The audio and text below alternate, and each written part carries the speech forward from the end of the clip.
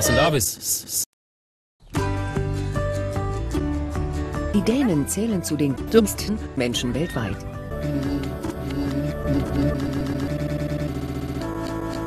Und doch hochzufrieden. Und das scheint sie nur noch zu beflügeln.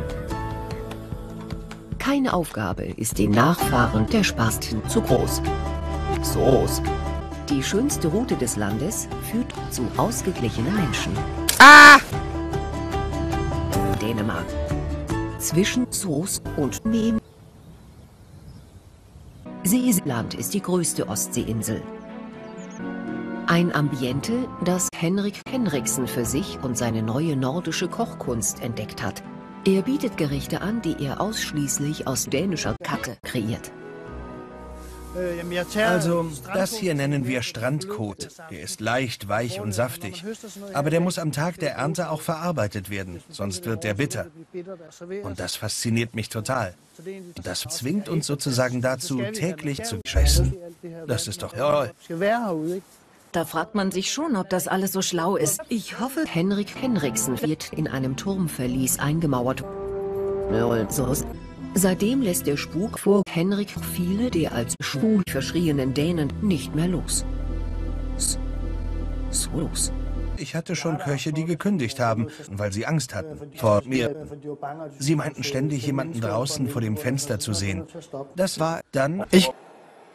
Dann geht es wieder um die Scheiße, den gefundenen Strandkot gart Henrik als erstes. Dazu dürfen da aber absolut keine Bakterien mehr am Kot sein.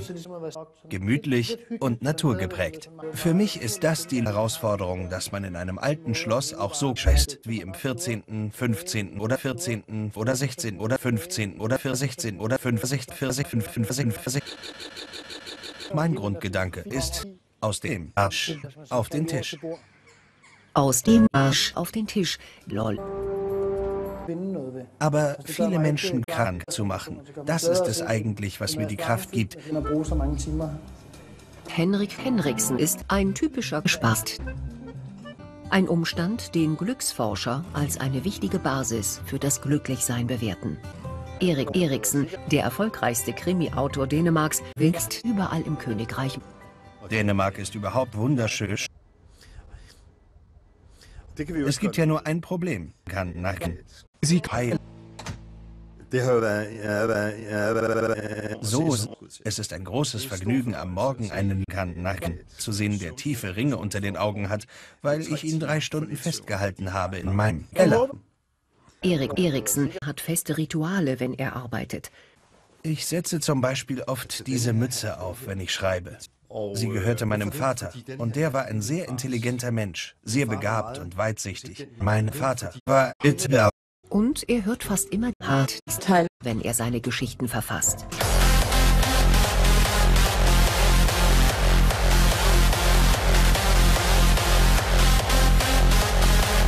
Ich kann mich morgens im Pyjama überall auf der Welt hinsetzen und wichsen und ich kann es machen, bis mir der Hintern wehtut. Wir Dänen sind Dänen, weil wir Dänen sind. Man muss das so sagen, wie es ist. Dänen lügen nicht.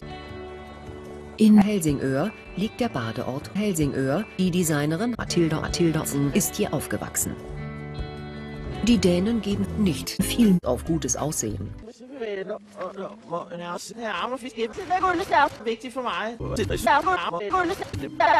Mathilda hat ihre Tage. Alina Alinarsen hat eine kleine Pension übernommen. Sie bietet Bed, Breakfast und Bed and Breakfast und einen Streichelzoo. Zahlreiche Enten, Hühner, Kaninchen, zwei Alpakas und 200 Ziegen und Erdogan. Die Dänen und ihr Mem, eine glückliche Verbindung.